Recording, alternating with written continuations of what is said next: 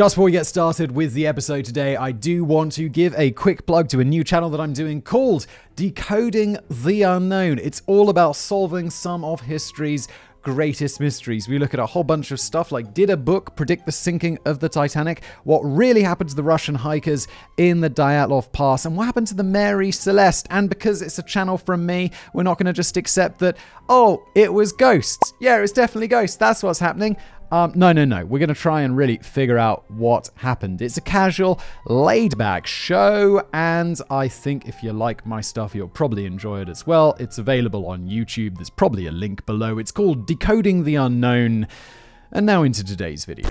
Hello, everybody, and welcome back to another brand new episode of The Casual Criminalist. As always, I am your host, Simon. What I'm doing right there preparing my pronunciation dictionary because we're heading over to Pakistan for today's episode where I am sure there are things that I will need to look up. Sometimes though, I just won't. I don't know. I don't know why I say that. I'm probably just not going to bother, and we're just going to rattle through, and I'm going to get them all wrong. And you guys, unfortunately, are just going to have to live with it, or just not know.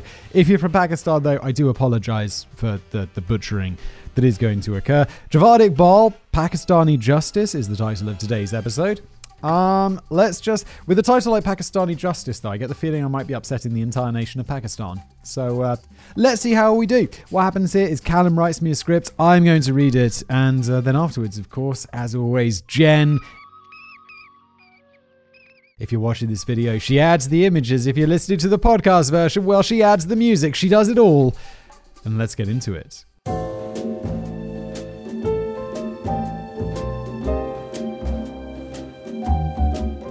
If you compare modern crime and punishment to the systems of days gone by, you'd be forgiven for thinking that condemned criminals have it pretty cushy nowadays. Yeah, as rough as prison would be.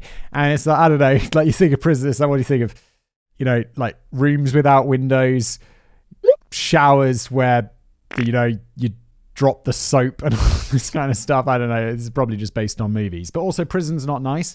But as we all know, and as discussed regularly, the past is the worst, and it was almost always worse in the past. I was reading about that, or doing a video about that prison where uh, the guy with the man in the iron mask, whatever it was, it's called, like in France. I was like, oh my god, don't get stuck in like French prisons hundreds of years ago. It was not a good place to be. The history of capital punishment is rife with gruesome methods of execution that you wouldn't wish on your worst enemy. For example, depends, depends how bad that enemy is, doesn't it, Callum? Uh, for example, fall foul of the king in 14th century England, you might find yourself hung, drawn, and quartered, or in plain English, dragged behind a horse to the gallows, hanged half to death, mutilated and chopped up into four pieces, then mounted on a castle wall for the peasantry to gawk at. At least they got four pieces, so you know. Uh, disperses the crowd a little bit, which is uh, this is just extremely fucked up. Or piss off a 17th century admiral, he might order you to be keel hauled, tossed overboard with a rope tied to your feet, dragged along the bottom of the ship over and over again to be scraped to death by all the barnacles and splinters. Oh my god, that is horrible. I've heard of this. I just thought it was a punishment, and then I was like, well, what's the big problem? The boat's really smooth underneath. it's like, oh no, yeah this was also back in the day when boats were made of wood and also i guess barnacles were there i guess there are barnacles on modern boats as well so look it's not a good time or how about this last one? I promise. Besmirch the honor of a priest's daughter in ancient Israel, and you'll be force fed a nice, refreshing jug of molten lead for your last meal. Oh my god. Like with that, what's what's the, is it Game of Thrones, which I've never seen, but I have seen or like heard of or seen pictures of, like where they pour the molten lead or whatever it is, or molten gold down someone's throat to kill them.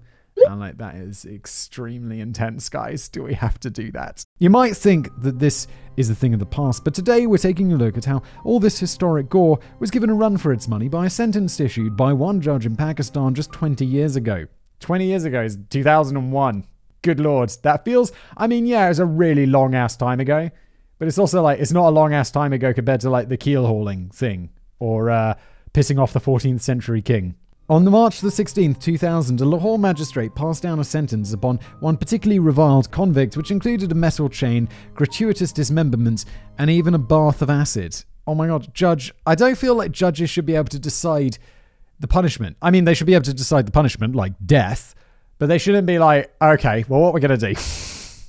Let's get creative with this one because we decided that lethal injection isn't enough. we're going to torture you a little bit first. So, what in the hell does someone have to do to invoke this kind of Old Testament wrath from a sworn in judge? Well, as you probably imagine, it requires that you be one of the most awful, contemptible, downright sickening individuals that the world has ever seen. Right now, I'm like, look, even if this guy was some sort of paedophile child killer, which is always not what I go to for like the worst criminals, it's like, I wouldn't want him to be tortured to death.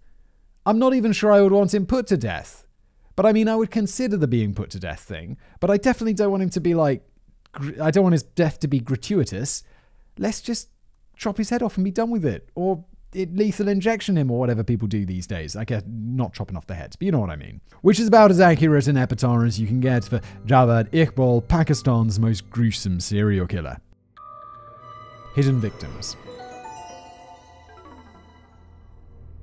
Throughout 1999, the city of Lahore was plagued with a series of mysterious disappearances, which went all but completely unnoticed by the public. Dozens of the country's 1.5 million street kids went missing. Oh my god, he, a, he is a murder, he is a child murderer.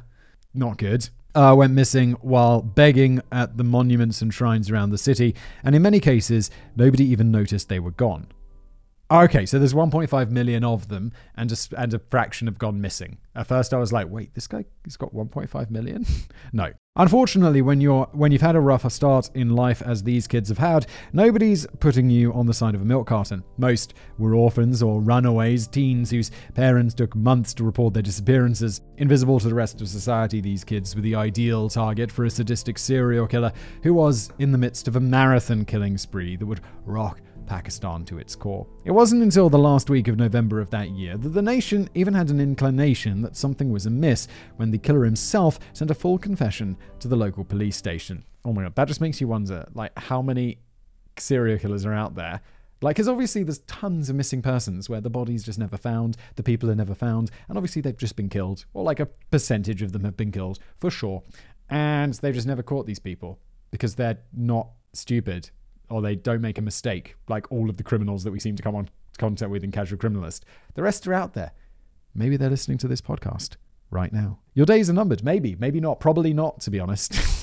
as we just discussed, probably not. This wasn't some Zodiac style coded cipher either. The guy gave his full name, listed his crimes, and even told them his home address. Included were pictures of the missing kids and other evidence of his deeds. Serial killers often love an audience, so maybe he was irritated at the complete and utter apathy of the ones who were meant to be chasing him. If so, they were about to disappoint him all over again. The cop who opened the letter allegedly read it through, immediately decided it was a hoax, and tossed it right into the trash. How about this cop, right? He gets this letter, be like, yo, yo, yo, John, John, come over, or whatever the Pakistani equivalent of John is. John, come over here and take a look at this letter and run it into the database. Just see if any of it matches up, just in case. Okay? Just go do that. It take five minutes. And then they would have the serial killer. And it killed less kids, which would be nice. Again, brilliant police work there, Pakistan. And I'm not saying, you know, it's not just Pakistan. It's a, a regular theme on Casual Criminalist, isn't it? This might sound like gross negligence, but you have no idea how much work is involved in a serial killer case, and this guy had plans for the weekend. Was he supposed to cancel the family picnic to go avenge the death of some orphans? Don't be ridiculous. Or I'm not asking him to do that. Look, I know I don't expect police to work all the time, even if there's a serial killer on the loose and he could kill someone on the weekends. I understand that the police need time off because then they'll be well rested and better at catching serial killers. But how about you just put it on the just little note? Just put it in the inbox. Be like, Deal with serial killer potential letter on Monday. Monday morning. Then you got something to do for the whole week. Brilliant. Thankfully, the killer was already familiar with the unconventional procedures of Pakistani law enforcement, so they also sent out an insurance police. The same confession letter was also delivered to the mailroom of newspaper The Daily Jang on December the 2nd. The journalists weren't quite so nonchalant about the claims of mass murder, especially with bold statements like, I've killed 100 beggar children and put their bodies in a container. Oh, this is going to be a bad one. If he's really killed 100 people, that is putting him up there with the most prolific killers that we've seen on Casual Criminalist. There was Shipman, who was into the 200, into 200 plus. But it's very rare for someone to break 100. The journos decided to take the killer up on his invitation. Come to my apartment on Ravi Road and see for yourself. Shortly thereafter, they turned up outside the dank little three bedroom home. This was the residence of Javed Iqbal, local sex offender, who was soon to become one of the most reviled names in Pakistani history. So not only was this guy getting away with it all and writing a letter to the police. He was also a registered, seemingly, I don't know if they have registered sex offenders or whatever, but he was a local sex offender. You know, like the local shop, local sex offender. Every town's got one. Statistically, probably true. Who was Javed Iqbal?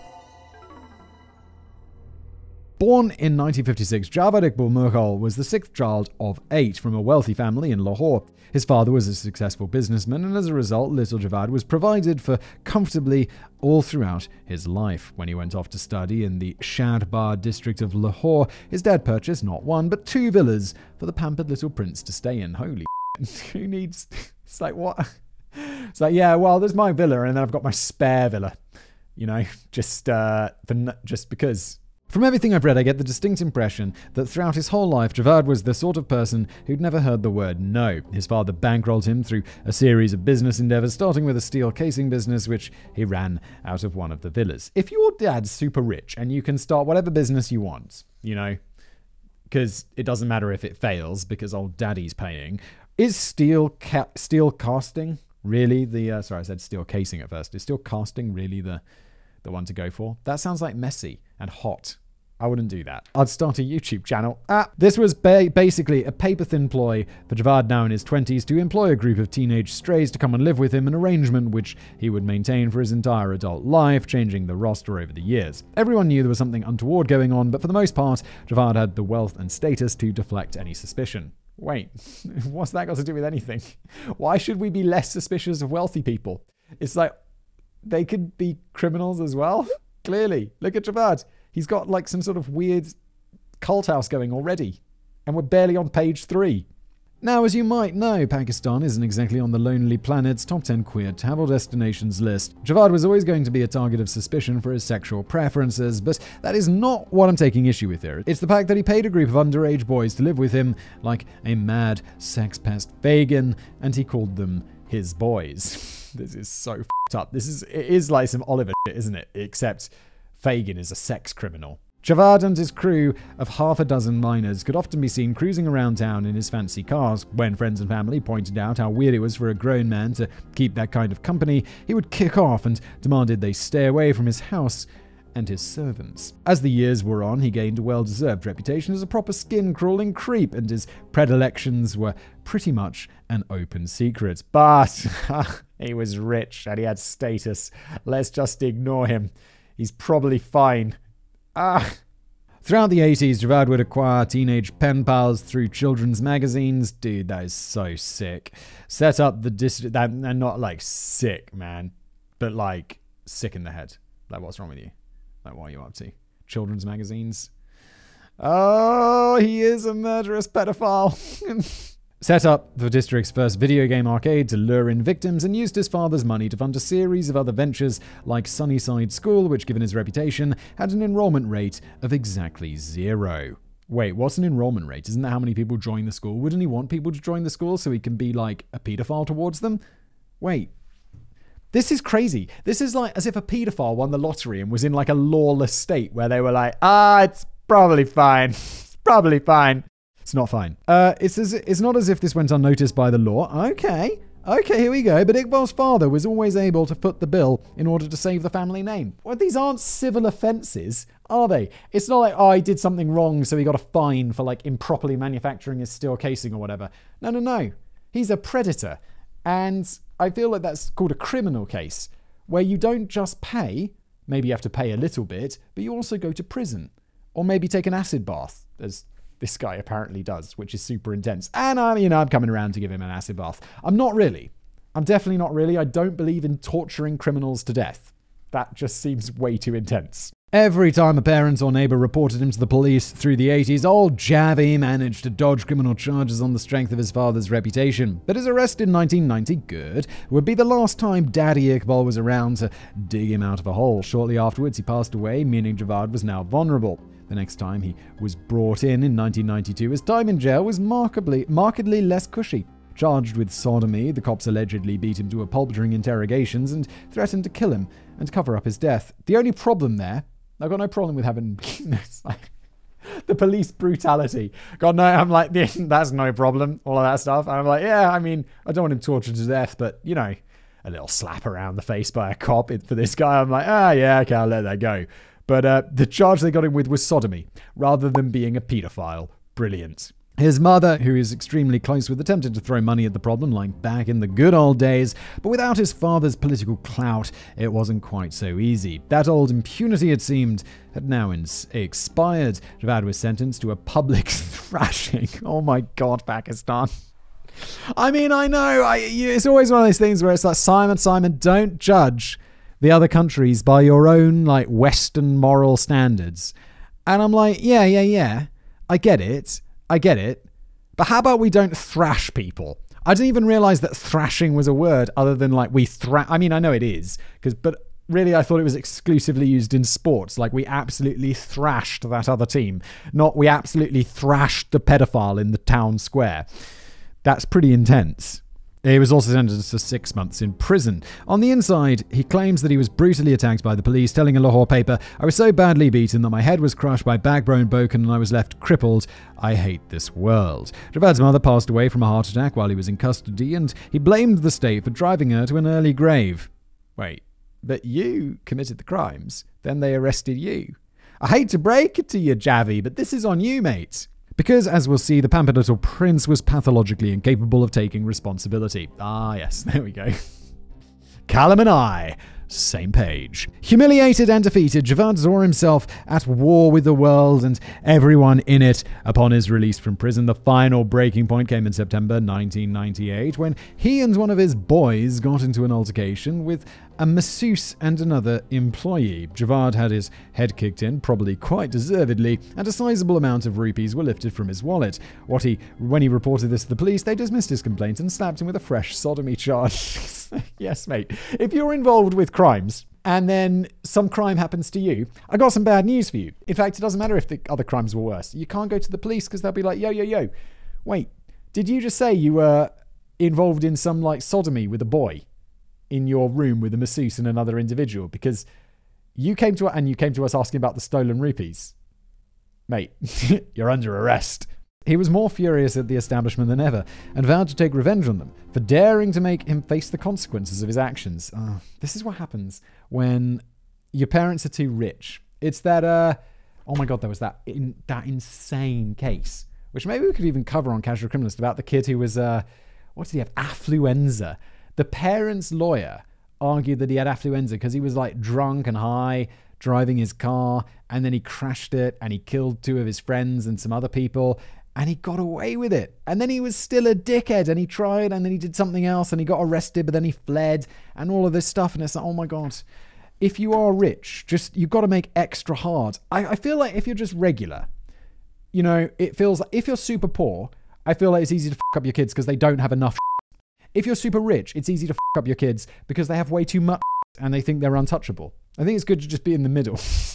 or if you're either rich or poor, you got to work super hard not to f- or like just just don't. Okay, just don't make them feel like they're invulnerable.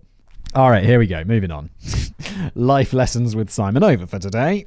I just want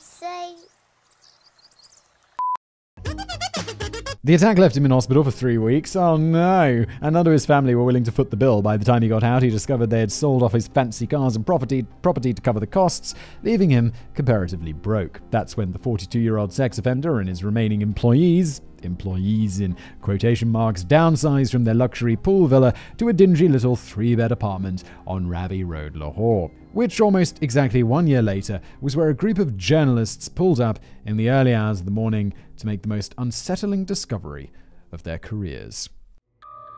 In this way, I would take revenge against the world I hated. If the letter was to be believed, Javed had decided to wage war against the world in the most horrific way imaginable. He claimed that this little concrete apartment building was the site of one of the most atrocious mass murders ever orchestrated by an individual, a parting gift to the world before he would take his own life. In his confessions, he wrote that his killing spree began several months after being released from hospital. He and his four boys would prowl the streets looking for victims to lure back to their lair. There, Javed would feed them, ask them about their lives, and take their photographs. The letter outlines how he and his gang of young kids would then sexually assault the victims, then strangle them with a metal chain. In some cases, he would put on a mask and force them to inhale a mixture of acid and cyanide while sleeping. To dispose of the bodies, they would dismember them and toss the remains into a vat of hydrochloric acid, then dispose of whatever was left down a sewer grate, which flowed into the nearby Ravi River. His goal was ostensibly to get back at the cops for corruptly mishandling his many criminal cases and to make 100 mothers cry the same way his own mother was forced to cry for him before her death. I don't think your mother was crying for you. Oh, maybe she was, because she's still your mother. But, ah, dude, you're such a horrible piece of shit. And then also, how does it make anything even to make someone else cry in the same way that your mother cried? They're just completely innocent bystanders who did nothing to you. This is, yeah, again, why? Uh, this comes up so often in Casual Criminalist. It's like, why are we trying to apply logic to these people's brains? There's just no point. Because it's like, yeah, what's wrong? Why do they kill people? Because they're broken. They're completely broken in the head. And uh, their actions make no sense because they're broken in the head, as mentioned previously. Never mind the fact that his mother was crying about her son being an actual convicted rapist. Apples and oranges, Javed. And yes, you heard correctly. In only six months, he claims to have killed an incredible 100 victims on this moronic quest for vengeance, potentially more than any American serial killer in history. To make matters worse, all of his alleged victims were aged 16 or under at the time. If that sounds too horrible to be true, then I'd. No, I'm like, nah, nah, I'm in. I get it. This guy's a psycho and he's totally capable of it, and he admitted to it, and they're probably going to find some evidence for it. And yeah, it's uh, I don't know, maybe it's just because I've done like 50 episodes of this casual criminalist or whatever. It's like, yeah, it's a pretty screwed up place, isn't it? When the journalists entered the unlocked door of Javed Iqbal's apartment that December day, there was little doubt that his grisly claims were true. A museum of murder. In anticipation of the intrepid journalist's arrival, Javed had set up placards on the wall elaborating on his confession, not unlike the signs in a museum explaining the items on display. And that's exactly what the place was a carefully curated museum of murder, an archive of 100 lives cut short, each one described in excruciating detail. This reminds me of Dexter the, uh, the the glass slides. Except in Dexter, he was killing people who needed to be needed to be killed. Needed to be killed. He was killing people who escaped justice, and there was some like, yeah, go Dexter. Did I talk about this before? I recently watched this TV show called You, which is about this guy who's a serial killer and he's just a piece of shit. Um, I'm not sure if we're supposed to like him because he's an absolutely horrible person. There's no one in the show who I like. I'm just watching it like, what? This is such a piece of shit. Everyone, everyone's just so unlikable. But at least with Dexter, he's like doing it for a reason. And the guy you is just like, nah, he's just like, he's just likes killing. He's just an obsessive killer. Yeah, oh, okay. What are we talking about? Oh, yeah, his death museum. Brilliant. Javed wrote at length on the fate of each victim, some whose blood still stained the walls and floor, and directed the readers towards parcels of clothing which he had kept from each. They were neatly arranged like books in a library, filed in order with handwritten notes slipped in between. It was basically a ready made evidence locker just waiting to be claimed by the police, who, by the way, had finally decided to stop dicking about and had come over for a bit of a look. This guy's breaking all the rules. He breaks all the casual criminalist rules. He's telling people about his crimes. He's out boasting about his crimes. He's up to all sorts of and and he's he's essentially got away with it until he's chosen not to anymore. I'm so depressed I don't know what I'm doing. Which makes me doubt all of the really important rules that we've established on Casual Criminalist over these past it's not 50 episodes, but I don't know however many it's been. It's been a lot. It feels like it's been a lot. But uh, he breaks the rules, and now I doubt doubt everything. In his extensive confessions, our misguided freedom fighter also. Wait, how is he a freedom fighter? For his own freedom? Dick had some choice words for the boys in blue. He claimed his spree was supposed to protest the police system, irregularities in jail in the jail system in Pakistan, and injustice in other sections of society. Because as everyone knows, social justice reform is only possible if you manage to murder enough people to fill a double-decker bus. You psycho. Amazingly, this unorthodox protest didn't do much to garner support for the Justice for Javed movement. After all, it's fairly tough to get behind a man who's willing to butcher people and toss their remains into acid. The final exhibit in Javed Iqbal's immersive serial killer experience was a demonstration of that macabre technique. Two open plastic barrels toward the rear of one of the bedrooms, from where a rancid chemical stench was emanating. Inside were the half dissolved skeletal remains of the last two victims, number 99 and 100, killed just days before. This guy, I feel, is just the most unlikable person in every regard. He's like spoiled rich kid, entitled, lives in this stupid villa double house that he wants to make into a business, is a sexual predator of underage boys, uh, flaunts his uh, crimes in the face of the public and the police. Just, yeah, what a total piece of. When the writers back at the Daily Jang office typed up their story later that day, one question was at the forefront of everyone's minds. Had Javed actually managed to kill victim 101? Had he, as promised, taken his own life? I get the feeling because he's getting, you know, Callum spoiled it at the beginning that he uh, gets sentenced to death by this judge who puts him in a bath of acid or whatever. But uh, I the feeling, so obviously, no, he didn't take his own life. Coward! but uh, I wish, I don't know, I mean, it's like that joke about you know broke into the Fuhrer. Hitler broke in. You know he did the Hitler did the one heroic thing of his life. He broke into the Fuhrer bunker and he killed Hitler. Um, yeah, so there's that. The manhunt. As mentioned at the end of the candid confessions pinned to the wall of his home, Javed claimed that he planned on drowning himself in the same river, river where he had disposed of his victims' remains. In the days which followed, vast stretches of the Ravi were dra- dragged to no avail. Dragged or dragged? I thought it was dragged, but Callum writes dragged. Maybe it is dragged. Where you scrape along the bottom of a river for stuff? Who knows? Not important. Meanwhile, parents of missing children from the city and surroundings were invited to pick through the personal effects found that day, identifying victim after victim. Oh my god.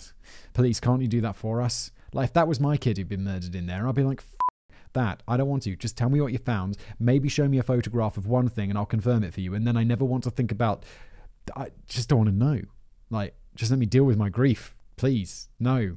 As the papers published pictures of devastated mothers and fathers sorting through photographs and clothing, public anger boiled over at the lack of progress in finding the killer. Pictures of the killer were circulated in the papers, dozens of his family and friends were detained and interrogated, and alerts were passed out to border guards around the region, all to no avail. It was the biggest manhunt in the country's history, but it failed to catch even a whiff of the killer's scent. A full month passed before the first break. Two teenagers walked into a Lahore post office in an attempt to cash a traveller's check. They were Mohammed Shahzad and Mohammed Nadeem, just 13 and 15 respectively. They admitted to helping Javed escape capture and revealed he had been holed up in a drainage culvert and then a cave for the past four weeks. Their confessions led to the capture of a third accomplice shortly thereafter. Perhaps those checks were the gang's only source of funds, or perhaps Javed simply had a change of heart about ending his own life. Whatever the case, with his underlings in custody, he finally decided to face the music himself. On December the 30th, 1999, caked in filth and wearing damp, ragged clothes, Pakistan's most wanted serial killer strolled into the office of the Daily Jang paper and announced his surrender with one of the most chilling greetings you're ever likely to hear. Detective! I am Javed Akbar, killer of a hundred children. I hate this world. I am not ashamed of my actions, and I am ready to die. I have no regrets. I killed a hundred children. I could have killed 500. This was not the problem. Money was not a problem. But the pledge I had taken was of a hundred children, and I never wanted to violate this. Hold on, let me check the scoreboard. Did old Javed just jump up to the top of our casual criminal leaderboard of legendary scumbags? Remorseless? Check. Child killer? Check. Delusions of grandeur? Check. Ring the bell. I think he's clinched it. I mean, yes. Okay, so uh, Callum's here declaring, Congratulations, Mr. Rugbo. You're officially the worst human we've ever featured on the show. Simon will have your medal sent out in the mail this week. I have to say, maybe he is. He's not the most, he's not killed the most people, that's for sure. But I think he's probably the worst. I think he's probably the worst. Holy shit. That we've done it. This is a this is a hard one to beat. Huge kill counts, kill counts children, also a pedophile. Yeah. Yeah flaunts it. Definitely. I'm, I'm with you, Callum. This is the worst guy so far.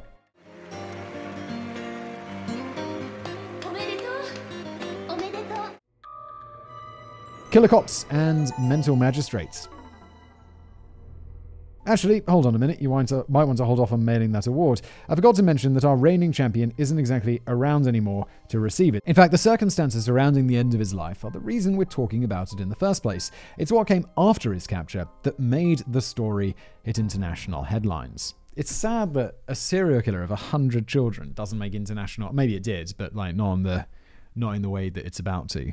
Let's jump back to the newspaper office where he made his surprise surrender in December 1999. Apparently satisfied that his macabre mission was complete, it appears as if he it, it as if this was Iqbal's last ditch gambit to save his own life, or rather to save himself from a torturous death at the hands of the police. He was so distrustful of the cops that he believed capture at their hands would result in an extrajudicial lynching off the record.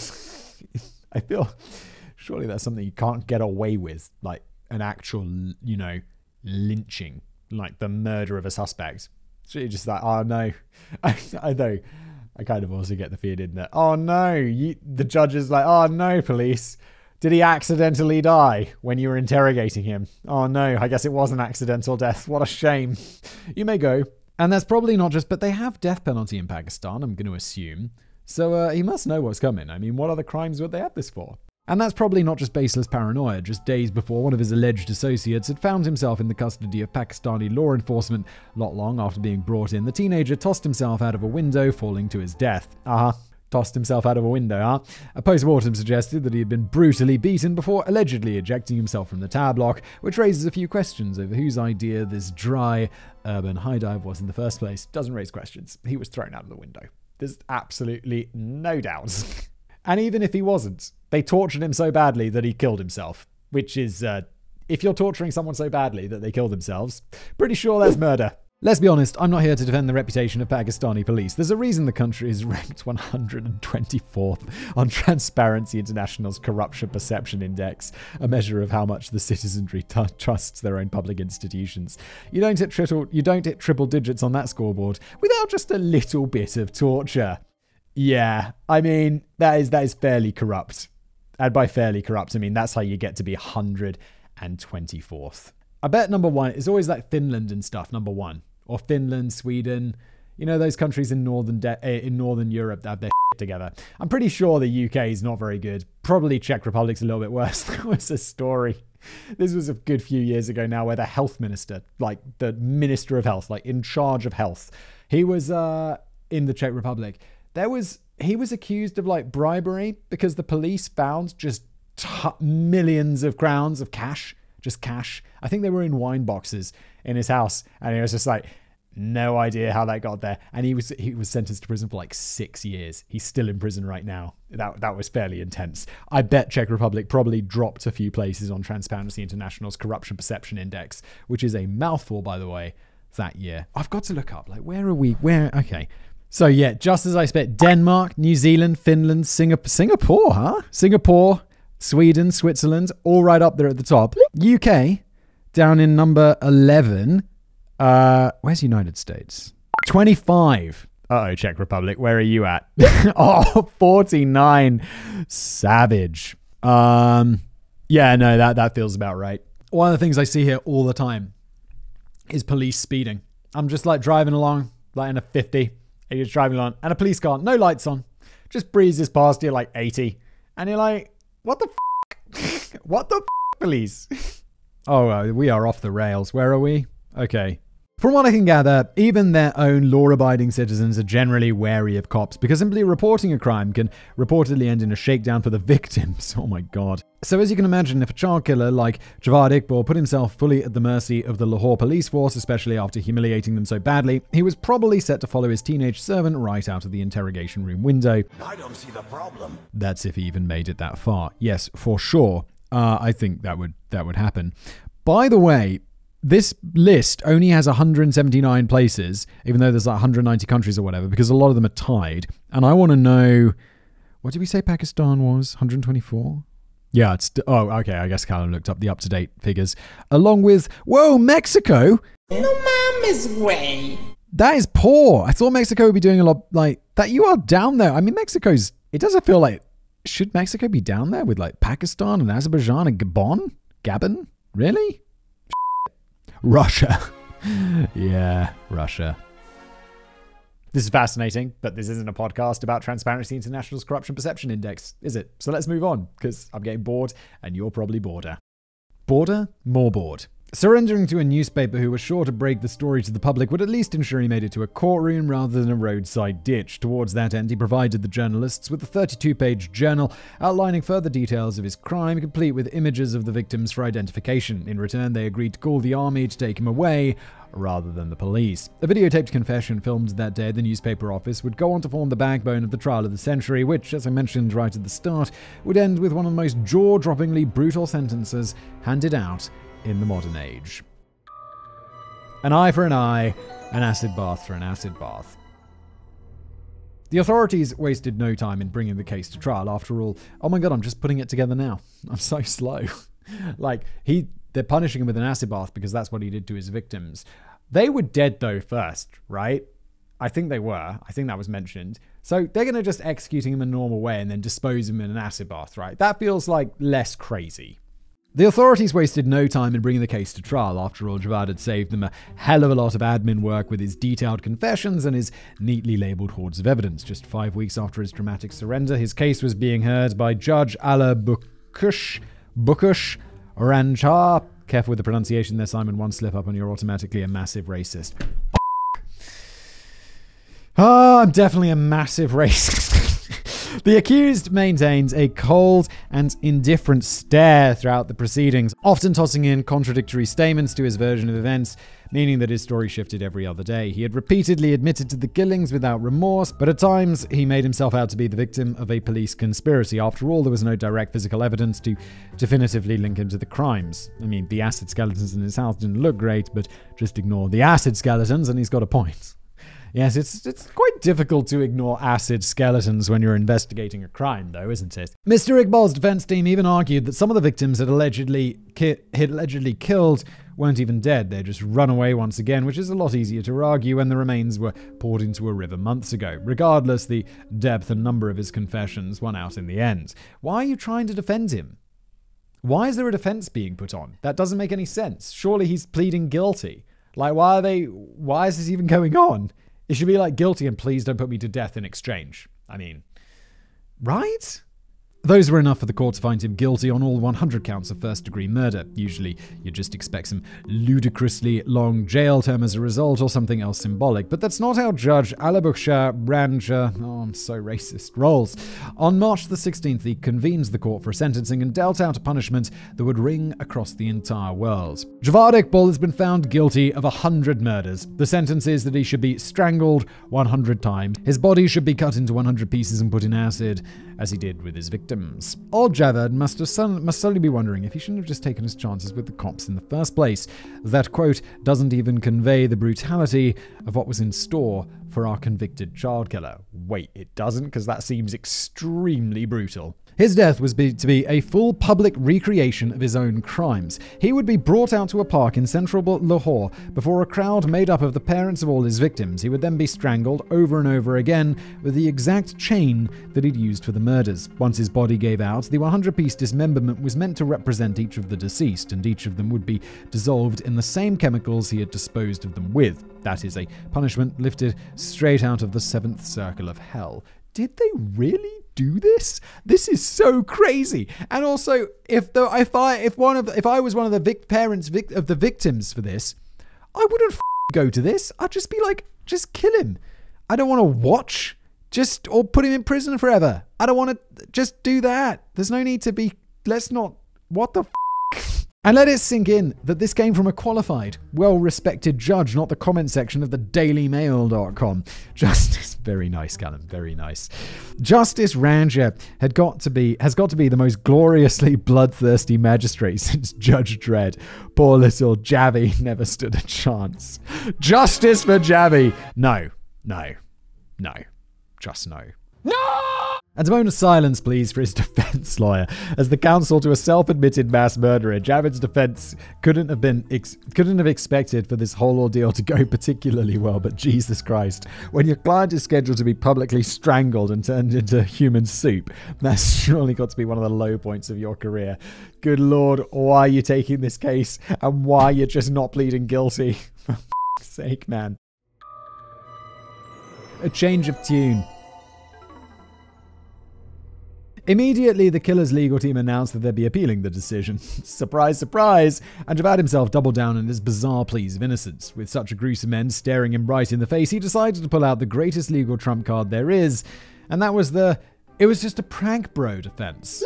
Dude. Yes, now Javed's story got more bizarre and inconsistent than ever before. He attempted to recant his entire confession, explaining that he'd fabricated the entire affair for a good cause. He wanted to draw attention to the plight of Pakistan's st- street children by staging the murder of a hundred innocents using details drawn from Western detective books. Wait, so he's saying that he's saying that he didn't do anything? Uh, mate, I don't know what your lawyer's been smoking, but it might be crack. Oh, I see. So he was actually an advocate for the street kids who had been abusing for decades. It was the parents who were neglectful.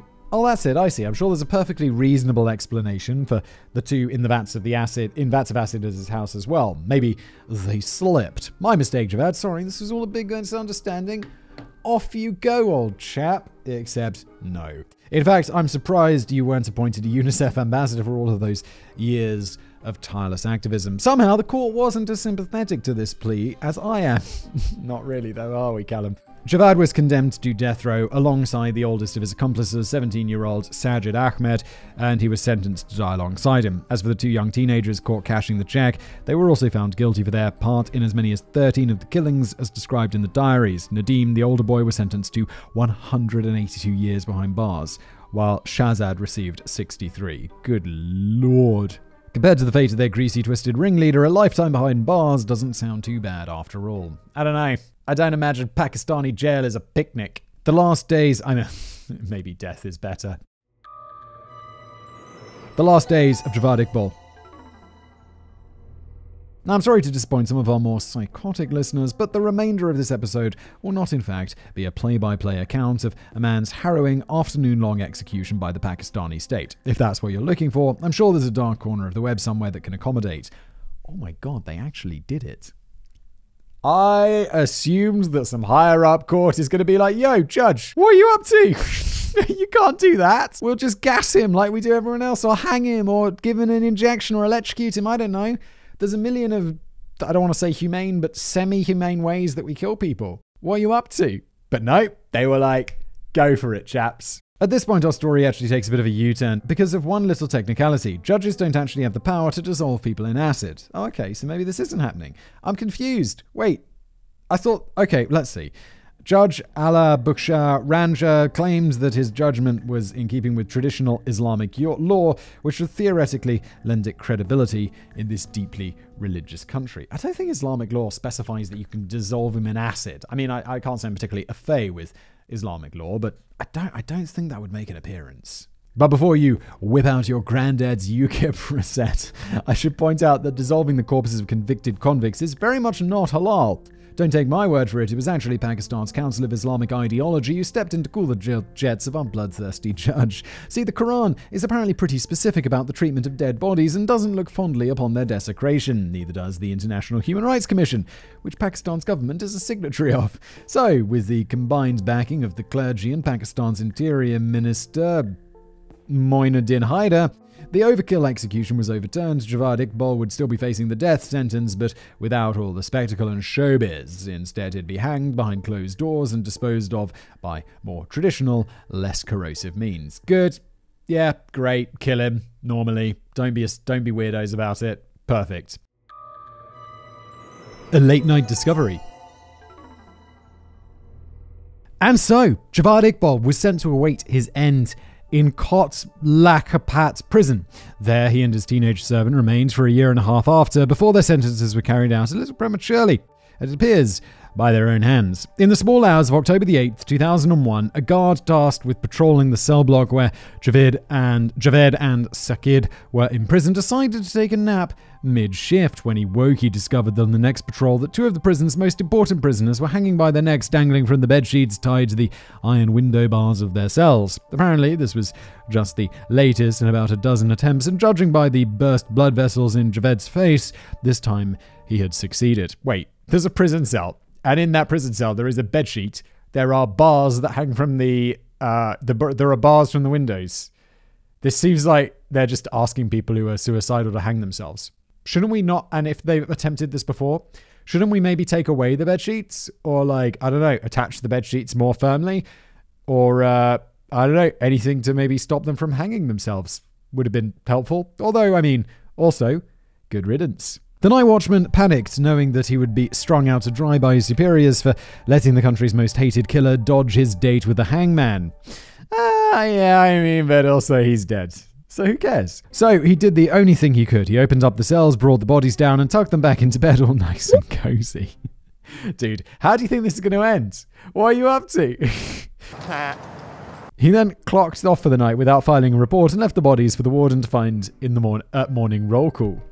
Mate, I, I don't mean to. I, I like. I've not seen a body that's been hanged, but I'm gonna bet like there's burst blood vessels in his face. As we discussed, there's gonna be some notable marks around his neck, and the fact that they're both dead in this way, they're gonna know, my dudes. they're gonna know. What are you up to?